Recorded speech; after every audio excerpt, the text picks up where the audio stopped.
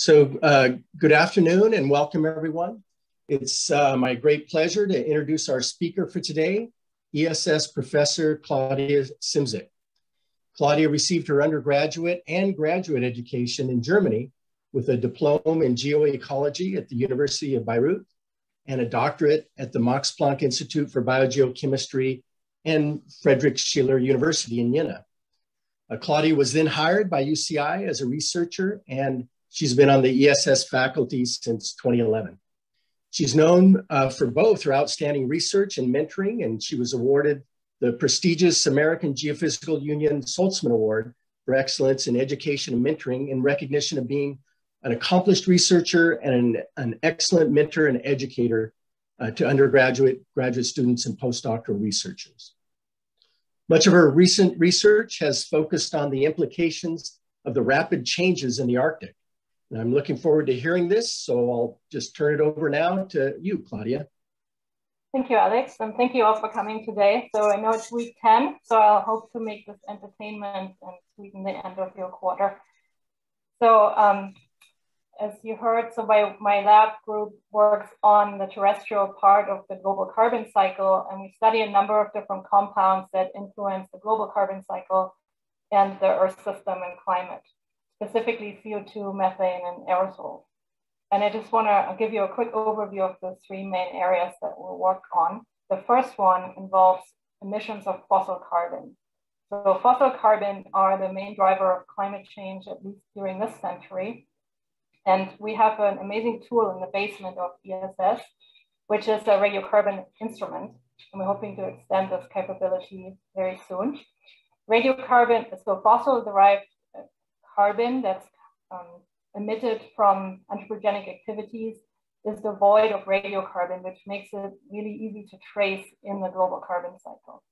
And I wanted to show you this curve. This is by Heather Graven, came out this last year and it shows the radiocarbon content of atmospheric CO2 over time from the 1950s to into the future. And you can see that the Suess effect related to the emissions of fossil carbon has now, together with the natural carbon cycle, eliminated the nuclear bomb signal from the atmosphere. And if you go forward, you can use this signal to understand both the emissions of radio of fossil carbon, but also our efforts to decarbonize our environment.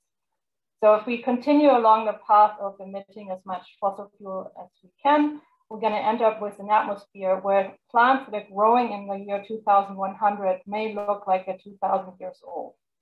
And this type of modeling the Earth system requires a lot of observations of atmospheric CO2, and two of these long-term observations are being maintained at Irvine by Xiaomei Xu, who's a Keck staff scientist and a really important member of my research group. And she measures atmospheric CO2 radiocarbon at Point Barrow and also at UC Irvine.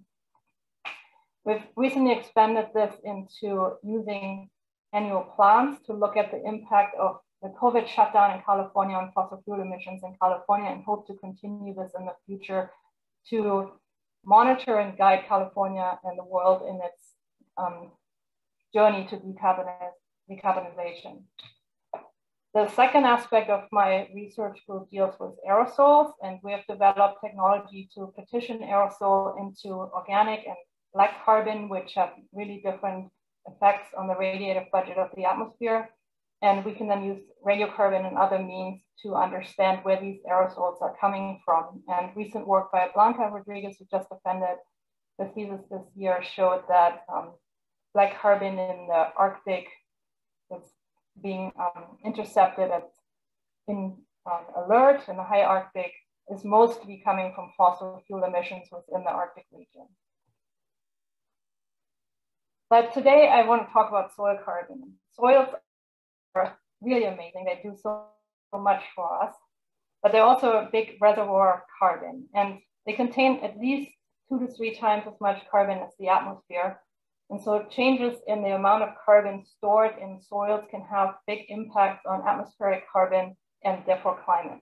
And a special part of the soil carbon pool is the permafrost region, where we anticipate that there are an additional 1,000 to 1,500 petagrams of carbon stored in frozen soils. the permafrost region is rapidly changing. So permafrost covers about uh, 14 million square kilometers of the land, and it's divided into two different zones. We have here in purple the continuous permafrost zone, which contains permafrost that formed mostly during the last glacial period and is really everywhere except large rivers and lakes. And then there's the discontinuous and the sporadic zones on the outside of the Arctic. And here permafrost is less common and it's younger. And surface properties are really important for the preservation of the existence of permafrost. And permafrost is a really complicated beast and it varies a lot in temperature. It can be really cold with less than 10 degrees Celsius and um, hundreds of meters thick to being almost at um, zero degrees Celsius and only a few meters thick in other parts of the Arctic. This Arctic region with the permafrost is warming rapidly, and we've actually already surpassed two degree warming in the Arctic, which is the global threshold that we're hoping to avoid for the planet. In the last 40 years, we've seen a 0.6 degree warming in the Arctic and also an increase in precipitation. So with a warming Arctic and less sea ice, we're also seeing a moister atmosphere and more uh, rain and snow. And this is affecting the permafrost, a global network of borehole temperature um, networks that's being maintained across the circumpolar region by um, Vlad Romanovsky and other colleagues um, shows that permafrost is basically warming everywhere. So they have observations that go back at least into the 80s, 1980s, and in most locations, permafrost has been warming. This is the temperature at the um, where the temperature amplitude every year doesn't change.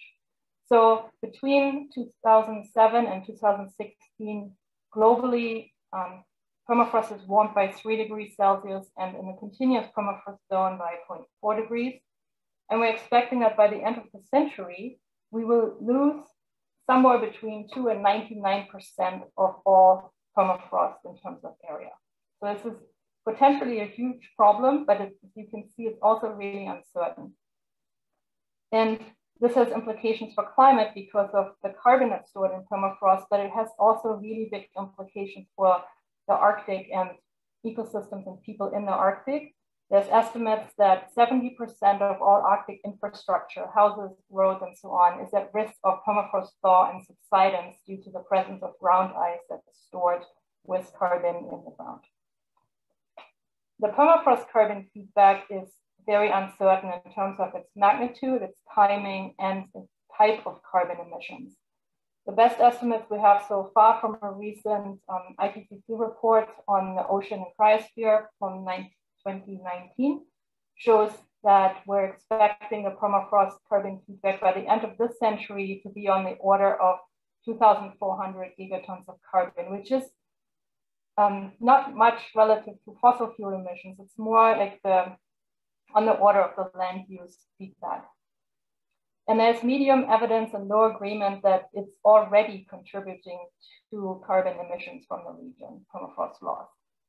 Methane is expected to be a small proportion of the fluxes. This is a big change to earlier estimates, but it's still potentially contributing 50% of the radiative forcing from the Arctic. And there's medium evidence and low confidence on whether the level and timing of increased plant productivity and replenishment of soil carbon stocks will absorb some of these permafrost losses. So you can see that emissions are um, uncertain and vary in terms of their timing here in this estimate from 2015. Okay, so now I want to tell you a little bit about um, what we've been doing in the last decade or so in the Arctic to better understand carbon cycling in the changing Arctic. The first one involves carbon cycling, what I call carbon cycling in the dark. And this has to do with the fact that most of our research to date has focused on the growing season, which is the summer. And in the Arctic, the summer can be two to four months long. So we're really missing most of the year. And um, new advances in measurement technology in terms of eddy flux towers, soil networks, and so on, and, and increases in our understanding of microbial activities, which now show that microbes persist in glaciers, under glaciers, in frozen soils, and so on, have really pushed the boundary of this um, data and they've shown that winter and specifically fall and early winter emissions of carbon to the atmosphere are a significant part of the Arctic carbon budget.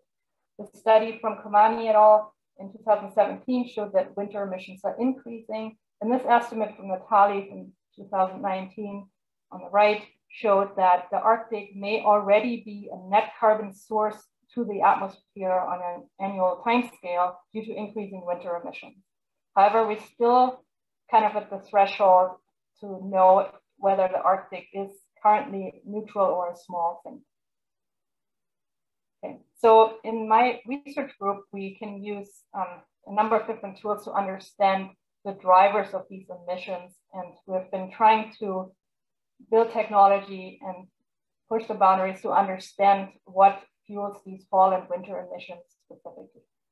And again, we use a lot of uh, radiocarbon to technology to do this. So radiocarbon of ecosystem emissions is uh, a fun tool that allows you to estimate the age of emissions. And this is an estimate of transit time. So it tells you how much carbon uh, how much time the carbon spends in the system and the age of when it's emitted back to the atmosphere. It can also be used to study emissions of ancient permafrost carbon. And at the same time, it allows you to partition ecosystem emissions into rhizosphere fluxes or plant roots and um, microbes that exist in the rooting zone and distinguish those from other microbes that are decomposing organic matter and potentially permafrost. And in the Arctic, because the plants are so small, they usually fit in our chambers. So when we put a chamber on the ground, we're not just measuring soil respiration, but actually ecosystem respiration. So in the past, this was done mostly with these uh, soil chambers, which circulate air through an infrared gas analyzer to measure CO2 fluxes. And we then capture the CO2 to do radiocarbon analysis. And we can also use gas wells, which are basically uh, tubing that we stick in the ground and we connect it to a capillary that restricts the flow rate and we capture the CO2 in evacuated canisters. These samples um, were taken about once a month and each sample integrates about one to 24 hours. And most of the work has been done in the growing. And then you end up with a record like this. So you have the age for the radiocarbon content of ecosystem emissions as a function of time. And we can identify three different types of carbon here. We have young carbon that was recently in the atmosphere. It was fixed from plants and then respired back to the air after 1950 because it's above this current value of atmospheric CO2.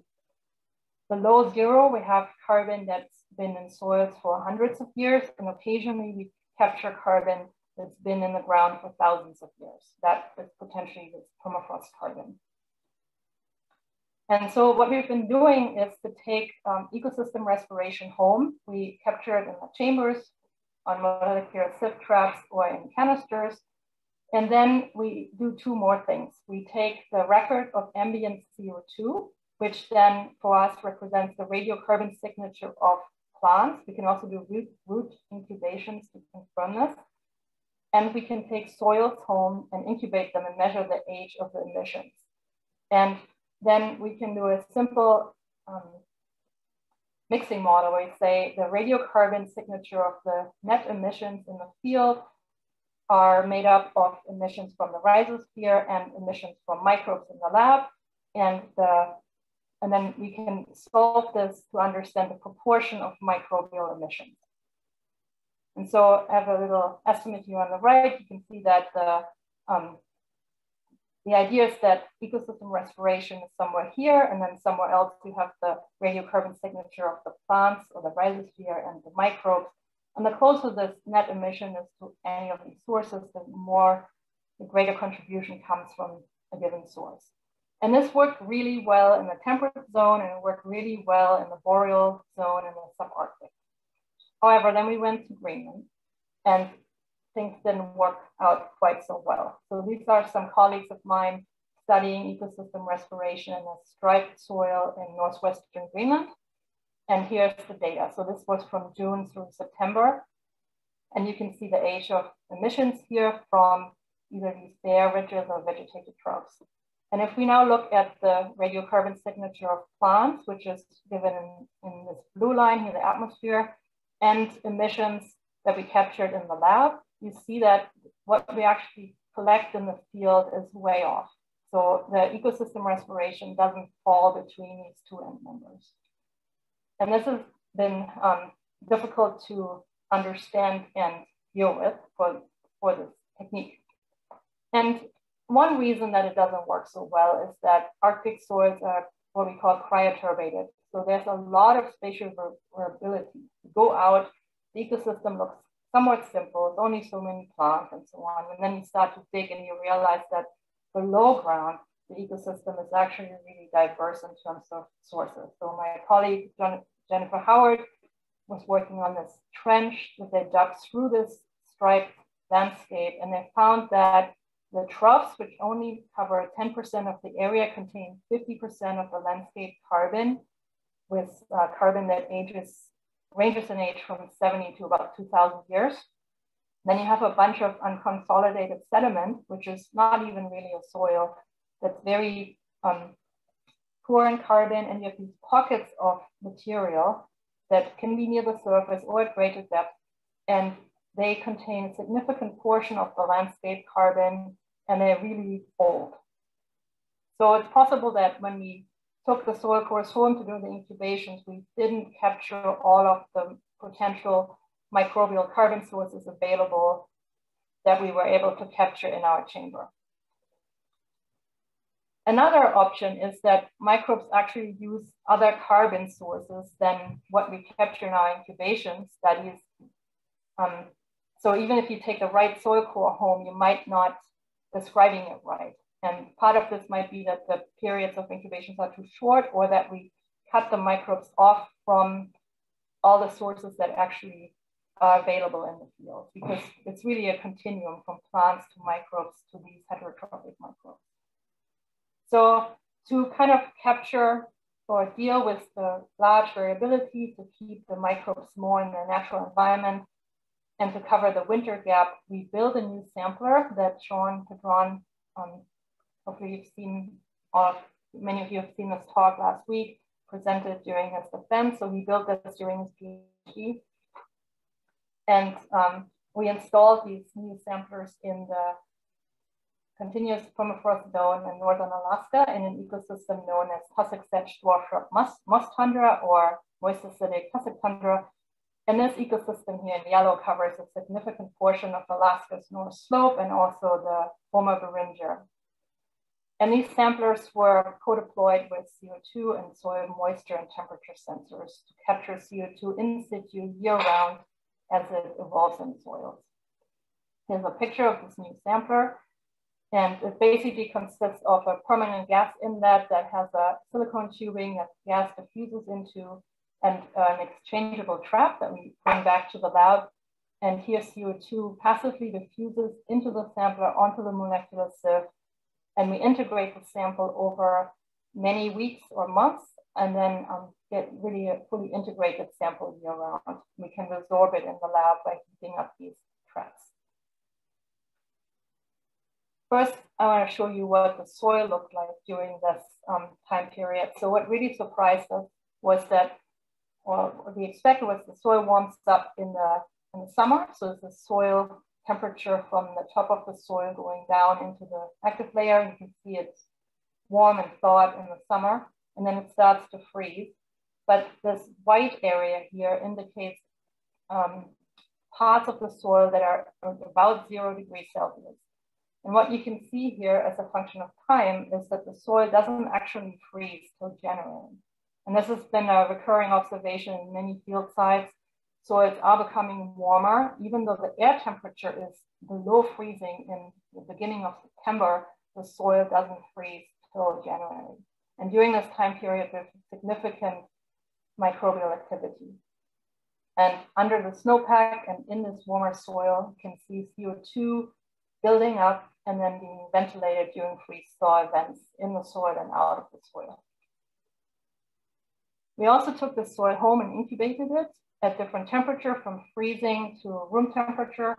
And then instead of telling the microbes what to eat, because we know this doesn't work so well in the Arctic, we combined the flux data that we got in the lab with temperature and moisture information in the field at every depth throughout the year with a continuous record of soil conditions in the field to calculate the flux of microbial carbon emissions throughout the year.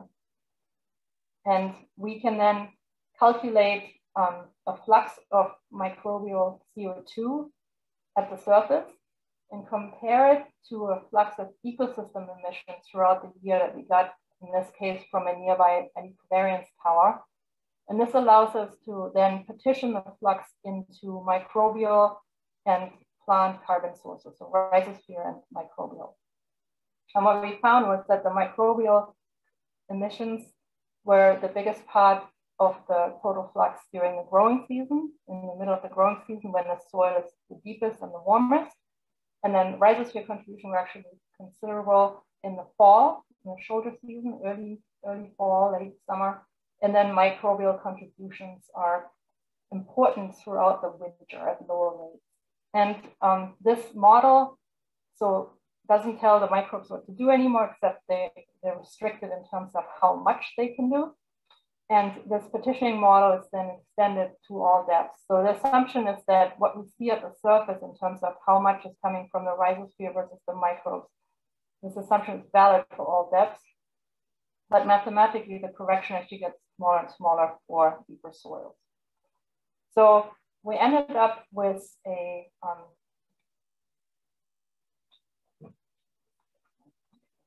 okay. So we just ended up with um, an annual record of ecosystem respiration. So this is year from January through the end of the year. Throughout the year's time from left to right. And from top to bottom, you can see soil depth.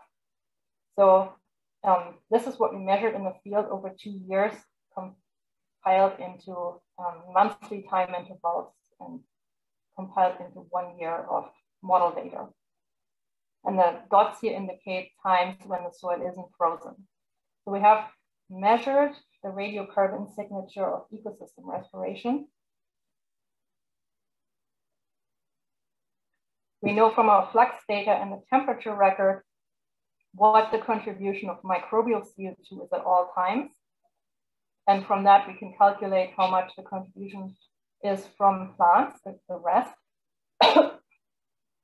We know what the radiocarbon signature of the rhizosphere is, so we can solve for the radiocarbon signature of microbial emissions. And this is what you see here.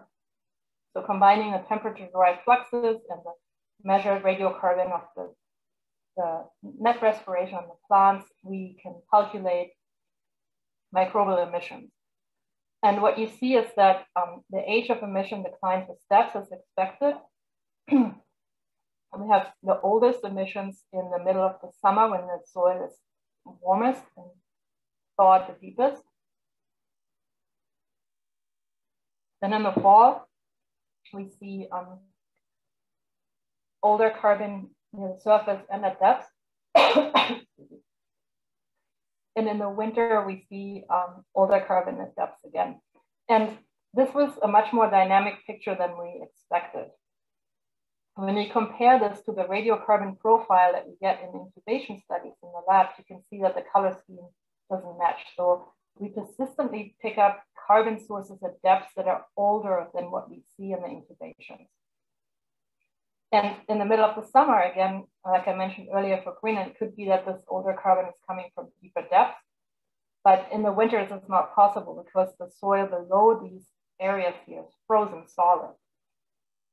So what we think in, in, instead is that microbes have access to, so during the summer, they have access to carbon sources where they are, and they, have, they get CO2 and uh, sorry, VOC from other carbon sources with the soil water.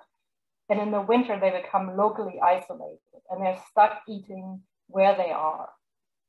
And so when you compare this, this depth profile of microbial respiration, you can actually see that it converges, converges on the radiocarbon profile of bulk soil carbon, which su suggests that they, they're stuck eating local carbon sources in the winter. And we can um, study, so we have a much more dynamic range of microbial carbon emissions. and we can also use the fluxes of CO2 at every depth and the fluxes of radiocarbon at every depth to calculate the, what the emissions at the surface look like. So in addition to calculating total emission year round, we also now have a radiocarbon signature of an ecosystem year round. And what this allows us is that we can now compare the mean age or the transit time of carbon emitted from different landscape units within and across the Arctic for the first time. And we have a tool to directly measure permafrost carbon emissions, which are happening during the winter period. And we're planning to the, continue doing this at Toolik Field Station, which has a year-round staff to help us do this and integrate more samplers into existing networks of CO2 emissions. The other thing that we learned here is that, again, the non-growing season of fall and winter are a critical time period for permafrost carbon losses, where we have predominantly older carbon being emitted into the modern atmosphere, and these emissions are increasing over time with warming. And we see that microbes have access to a greater variety of carbon sources than we anticipated. And we can model their activity and their emissions based on temperature and other soil data we don't need to tell them what to eat in terms of ages. And I think in the future, we need to combine our gas measurements with those of VOC and the permafrost microbiome to really understand the role of these temporarily available carbon pools for microbes and soil emissions. This work on the land, on the dry land, complements efforts by another grad student, Clayton Elder, who is uh, recently graduated from UCI um, that worked on lakes because a large proportion of the high Arctic is actually covered in lakes. And so, and his work showed that lake emission ranged from modern to about 3,000 years, dominated by CO2, and are related to the age of the carbon or the landscape type that the, the lakes reside in. So we now have a tool to measure carbon emission ages year round from both lakes and the land surface. And we can really start building regional radiocarbon inventories of emissions. Okay, so I want to take a step back and talk about what permafrost carbon actually is. So permafrost soils have what we call an active layer. So this surface of the soil, and here's the deeper part. And this line here describes the mean annual ground temperature. And you can see that the soil thaws at the surface in the summer and uh, freezes up in the winter. And this active layer is seasonal, seasonally thawed. Okay? And then there's permafrost underneath. And in the permafrost region, we have about a thousand petagrams of carbon. And a lot of it is near the surface, but the largest part is actually at greater depth, currently frozen. So right now, we're kind of just looking at emissions of active layer carbon. In the future, we're expecting emissions of the permafrost carbon pool at depth. So a number of different studies have tried to understand what this looks like. This is a study from Bo Elberling in 2013, where they compared a heath system here on the slope to a wet sedge system um, downslope. And they took soil samples in 1996 and 2008 and monitored the active layer development, which increased by over a centimeter per year. And they incubated soil samples for many years and then showed that with active layer development, you have more carbon available in the soil profile. But, uh, and then a huge amount of this can be lost if the soil conditions remain dry, aerobic, but only a small percentage of the carbon is emitted if the soil becomes flooded after thawing. So it's really important for carbon emissions in the future. We've shown this in another study as well that I was involved in, um, whether the soils are draining or not, because the, the excellent mechanism to preserve stuff in your freezer is when you leave the door open is to flood it. You might not want to eat it anymore, but it, it won't spoil as fast as if it was dry. Another study um, tried something similar. They took soil cores home from the field and large chunks of soils, mesocosms, and they thawed them one centimeter at a time from the top of the soil into the permafrost. And they found huge emissions of N2O where they reached the permafrost. And um, what's been puzzling me for the last few years, and I don't have the right answer for this part of the talk yet, but I thought I'd share it, is that these studies rely on measurements of active layer. And active layer measurements and then the permafrost underneath are actually really difficult. So this is a record of active layer measurements in August from Toolik Field Station in this moist acidic tussock tundra. And you can see that the measurements actually vary tremendously in the field from one location to the next. And they vary a lot from year to year. And in this location, we're fortunate enough to have 30 years of this data. And you, we have compiled it into one growing season, basically. So you can see that the soil starts thawing in May, and they reach maximum thaw in August, and then they start freezing up. And then here the record ends because everybody goes home. And you can calculate different things with this. One is the mean depth of the active layer, which is about here. So this range here is the active layer as you would measure it in the field. But you can also see the maximum depth of the active layer, which is actually twice as deep. And this is an extreme case maybe because um, tussock tundra has this tussock sedge that actually sticks out of the um, snow in the spring. This is a picture from the fall, but in the spring it's even more intense when you have permanent sunshine on this. So the, the tussock uh, hummocks thaw out much faster than the swales in between. And you get this really deep active layer in the summer and then it freezes back up. So we have an active layer and permafrost, but we have this long transition zone in here. And you can imagine like one year, water, carbon, and microbes and nitrogen can go to here, and then they're stuck on the permafrost table. The next year they, they go deeper. So you have stuff that freezes and thaws every year, and you have an area that freezes and thaws every five years, every 10 years, and so on. So this is an amazingly carbon, nitrogen, and microbe rich, rich area of the soil. So when we look at this with radiocarbon of the bulk soil, we actually see that the age of this material is a big mess in the top of the soil related to cryoturbation. And then it's very stable at the bottom at below a meter, which suggests that this is the actual permafrost carbon that hasn't been in contact with the atmosphere for thousands of years. And then in between, we have this transition zone where you have almost a one-to-one -one mixing of modern carbon into this old carbon pool. And most of our studies to date have really just looked at this change from the active layer into this deeper transition zone.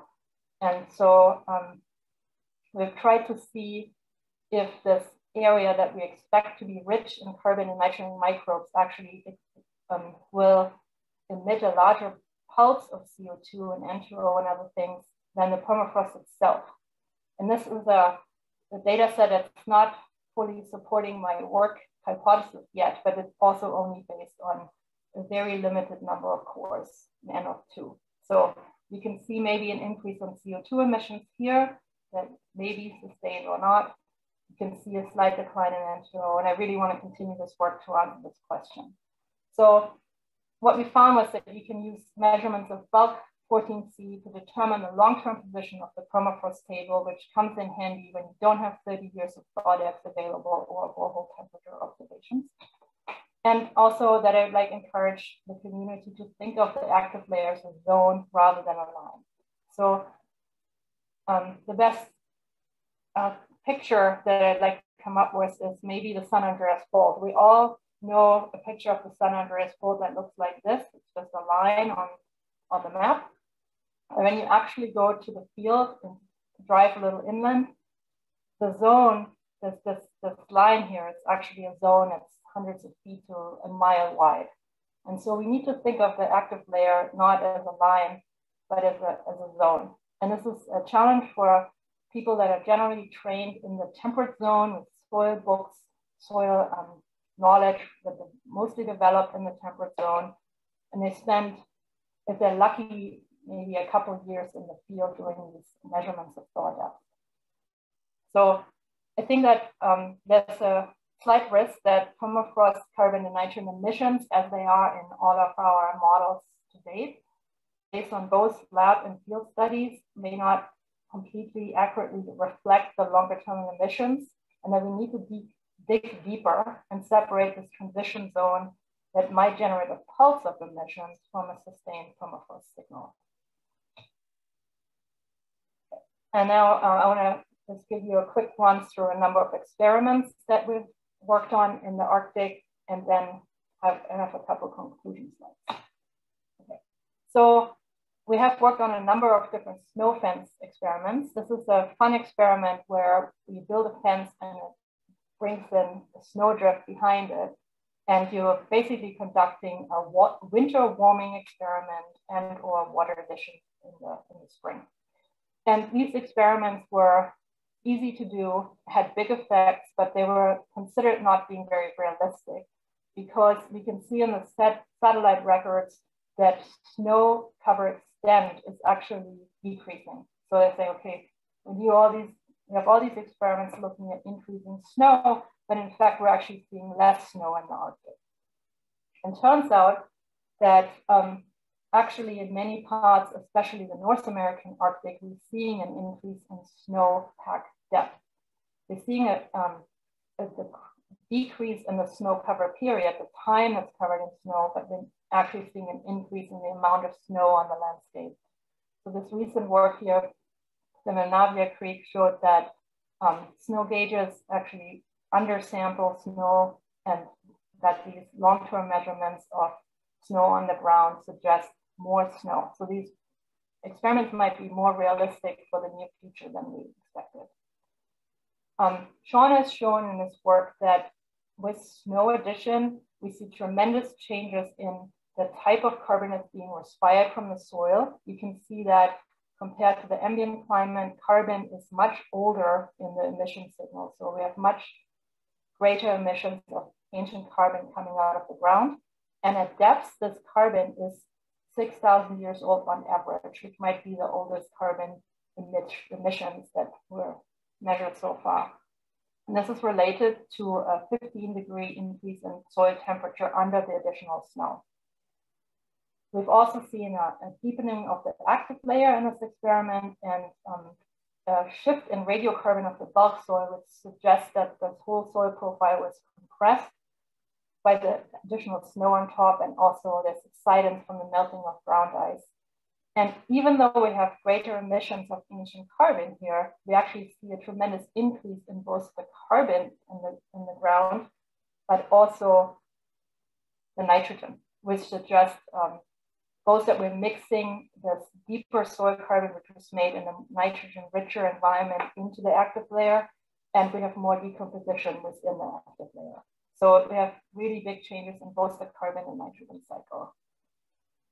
We've also uh, studied lakes in the changing Arctic, and this one shows that uh, in contrast to lakes that are being relatively large sources of relatively modern or young carbon in the high Arctic, lakes in the in the further south that are actively expanding through thermokarst actually emit older methane and CO2. And the age of emissions was related to their rate of expansion. And then the last experiment that I'd like to show you is from a wetting and warming experiment in the high Arctic. So most Arctic research so far kind of focused on the lower parts of the Arctic. And the high Arctic is important because it's warming at the greatest range. It's really a marine ecosystem. It's very close to sea ice, which is disappearing. So here we have 20 years of warming and water additions during the summer. And we found that all different treatments increase ecosystem respiration. And there's tremendous differences from year to year, which really calls for long-term observations. And we found that most emissions were relatively young, um, except when it was much warmer. So in this very dry and warm year, we see older emissions.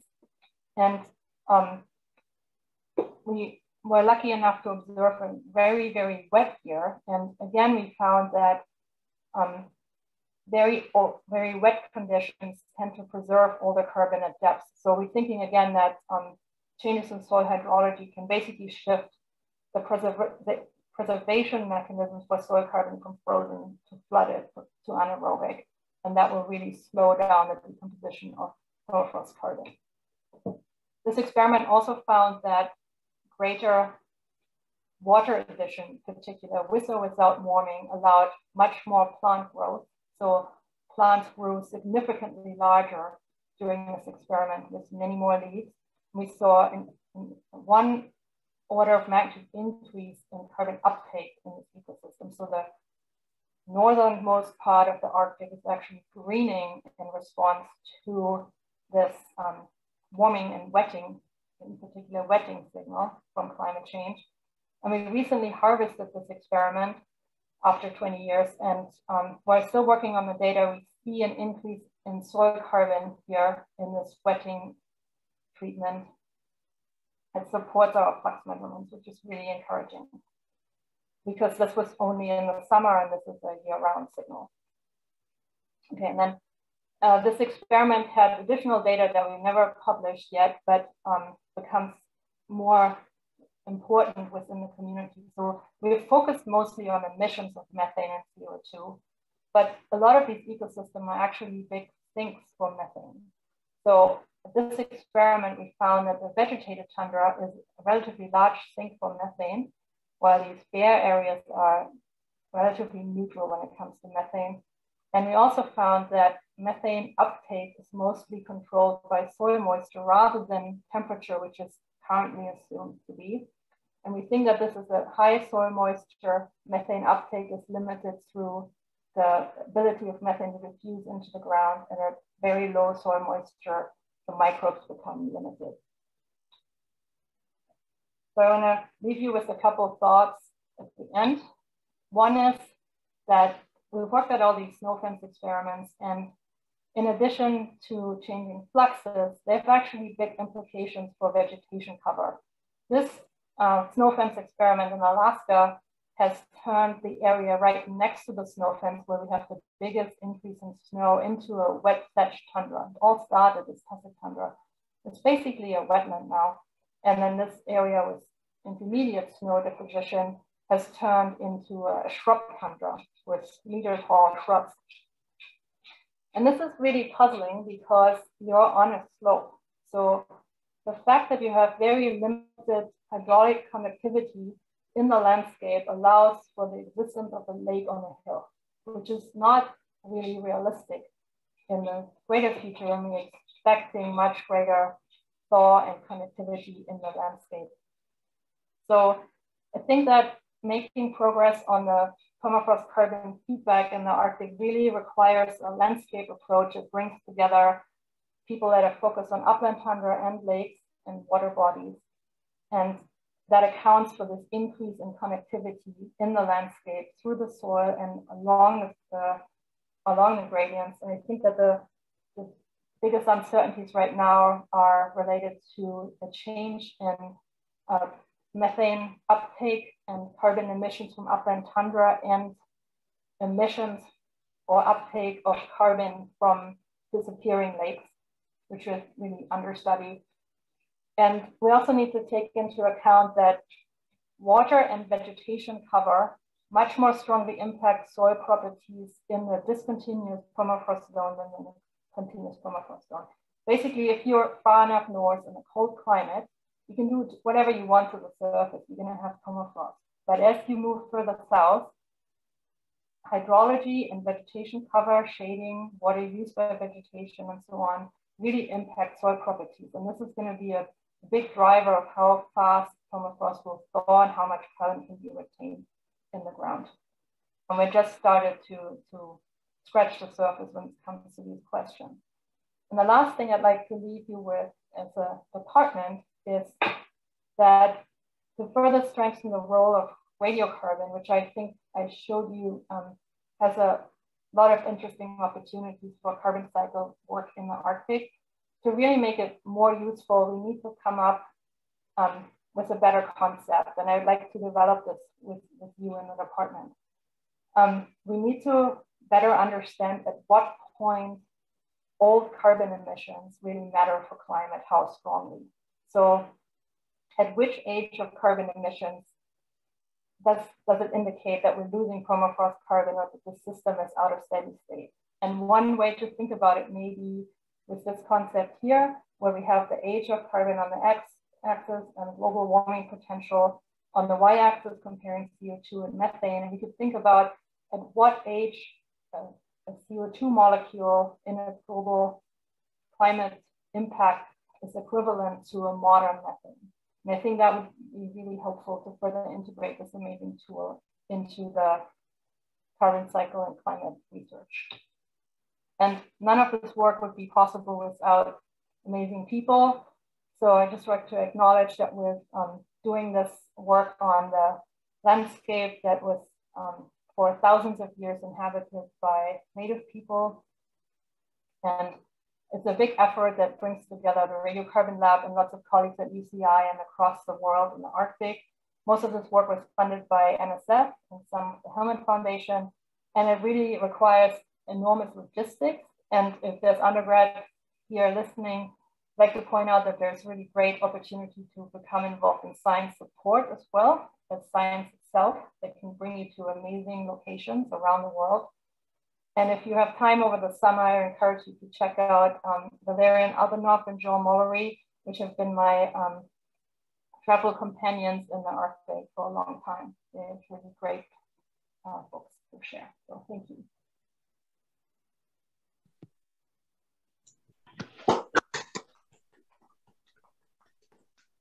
Thank you, Claudia. Um, see the uh, the hands going up, and so I'll, uh, go ahead and be starting on the top of my list here. Uh, Francois. Oh, sorry, I was I was just clapping my hands. oh, okay. Oh, these are clapping hands. Yeah. yeah, you're right. Okay. So I'm looking now for any raised hands. Or uh, you can type into the chat. And while, while we wait for those, I'll, I'll go ahead and ask one, Claudia, can, can you expand a little bit on you know what you're saying, why why those shrubs were coming up in that intermediate zone? You think is it is it mostly water or uh, other things too? You think would likely cause the uh, shrubification there? So the, there's a temperature component. Um, so shrubs don't and, and also a, a, physical rooting zone components So shrubs don't tolerate as much shredding of the rooting zone through perturbation. So you have more permanent conditions in the active layer under the deeper snow, which allows for shrub roots to survive. Okay. Um, recent work has also shown that shrubs can um, capitalize on uh, water earlier. So they use snow water in addition to soil water. So they start the growing season earlier when there's more snow water available. And shrubs are often coming in when you have a surface disturbance and, and um, warming. Great, thanks. Any other uh, questions or comments for Claudia?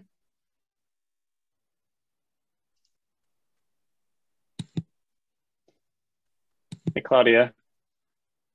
Can I follow up on your comments at the end about steady state?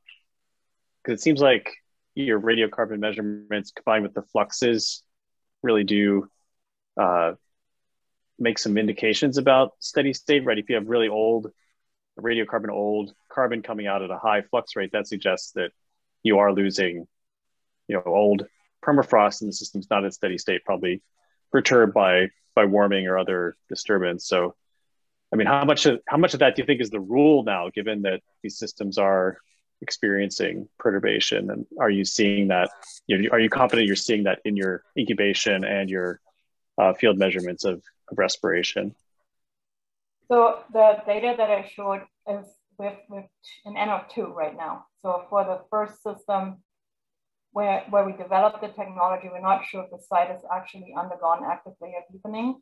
So what we're seeing in our control site might still be the mean age of carbon emissions from a relatively undisturbed acidic tundra system. In the snow fence, we're beyond that. We know it has been disturbed and we're losing carbon that was and that was fixed during the Pleistocene. But um, when you do the calculations of uh, how much impact that is on climate, we need to decide if it's just steady state 5,000 years ago when the Arctic was just about as warm as it is today, or is it a fundamental shift in the climate system, which was in the Pleistocene? So it, depending on where you set the age of permafrost carbon, your amount of emission changes. And so I'd like to discuss this further to really understand of understand how it can be better integrate this H signal into the carbon cycle. Thank you.